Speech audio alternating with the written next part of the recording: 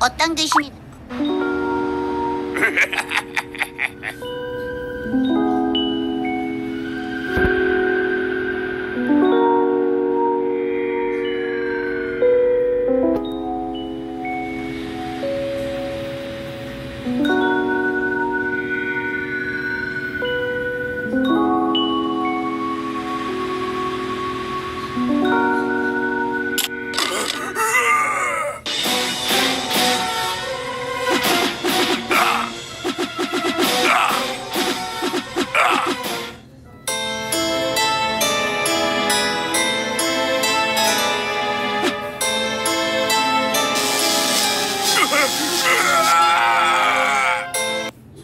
이 위대하신 도깨비님한테 불가능한 어떤 귀-